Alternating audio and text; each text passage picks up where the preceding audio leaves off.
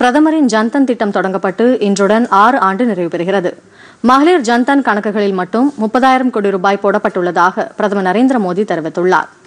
பிரதமர் நரேந்திர மோடி இரண்டாயிரத்தி பதினான்காம் ஆண்டு ஆகஸ்ட் மாதம் இருபத்தி எட்டாம் தேதி தொடங்கி வைத்த ஜன்தன் வங்கிக் கணக்கு திட்டம் இன்றுடன் ஆறு ஆண்டுகளை நிறைவு செய்கிறது.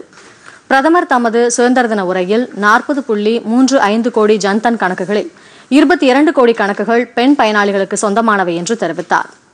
கொரோனா தொற்று முடக்கத்தின் போது முப்பதாயிரம் கோடி ரூபாய் பெண்களின் ஜன்தன் கணக்குகளில் டெபாசிட் செய்யப்பட்டுள்ளதாக அவர் கூறினார். இந்த கொரோனா காலத்தில் பெண்களின் ஜன்தன் கணக்குகளில் மாதம் ஐநூறு ரூபாய் வீதம் பண உதவியாக செலுத்தப்பட்டு வருகிறது. பொது முடக்கம் குறிப்பாக தினக்கூலி பெறுவோருக்கு வேலைகளை இழக்க காரணமாகிவிட்டது. பண உதவி உணவு தானியங்கள் மளிகை பொருட்கள் உள்ளிட்ட இலவச ரேஷன் கடன் உதவி உட்பட பிரதமர் தற்சார்பு திட்டத்தின் கீழ் மத்திய அரசு பல்வேறு நடவடிக்கைகளை அறிவித்தது. அனைத்து குடிமக்களுக்கும் நிதி அதிகாரம் வழங்க வேண்டும் என்ற அடிப்படையில் பிரதமர் ஜன்தன் கணக்கு திட்டம் தொடங்கப்பட்டது. நாற்பது கோடிக்கும் மேற்பட்ட ஜன்தன் கணக்கு வைத்திருப்போர் தங்கள் கணக்குகளில் தற்போது ஒரு லட்சத்து முப்பதாயிரத்து எழுநூற்று ஒரு கோடி ரூபாய் வைத்துள்ளனர். ஒன்று புள்ளி இரண்டு ஆறு லட்சத்திற்கும் மேற்பட்ட பிரதிநிதிகள் குறிப்பாக கிராம பகுதிகளில் கிளையற்ற வங்கி சேவைகளை வழங்குவதில் ஈடுபட்டுள்ளனர். ஒவ்வொருவருக்கும் ஒரு அடிப்படை சேமிப்பு வங்கி கணக்கு இருக்க வேண்டும் என்ற நோக்கத்தில் இத்திட்டம் தொடங்கப்பட்டது.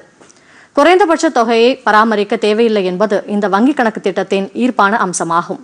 மேலும் பத்தாயிரம் ரூபாய் ஓவர் டெபாசிட் வசதியும் உள்ளது. பிரதமர் ஜன்தன் கணக்குகள் நேரடி பணப்பயன் மாற்றம் பிரதமர் ஜ- ஜீவன் ஜோதி பீம யோஜனா பிரதம மந்திரி சுரக்ஷா பீம யோஜனா அடல் பென்ஷன் யோஜனா முத்ரா திட்டம் ஆகியவற்றை பெறுவதற்கு தகுதியானவையாகும். தமிழகத்தில் ஒரு கோடியே எட்டு லட்சத்து இருபதாயிரத்து எண்ணூற்றோரு பயனாளிகள் பிரதமர் ஜன்தன் திட்டத்தின் கீழ் பயனாளிகளாக உள்ளனர். அவர்களது வங்கி கணக்குகளில் இரண்டாயிரத்து எண்ணூற்று ஒன்பது கோடி ரூபாய் உள்ளது. கொரோனா முடக்க காலத்தில் பெண்களின் ஜன்தன் கணக்குகளில் மாதம் ஐநூறு ரூபாய் செலுத்தப்படும் திட்டம் பெரும் வரவேற்பை பெற்றது குறிப்பிடத்தக்கது.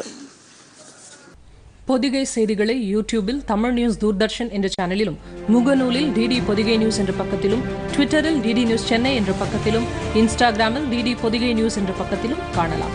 மேலும் உங்கள் கருத்துக்களை Podhigai DD news at Gmail dot com என்ற மின்னஞ்சலில் தெரிவிக்கலாம்.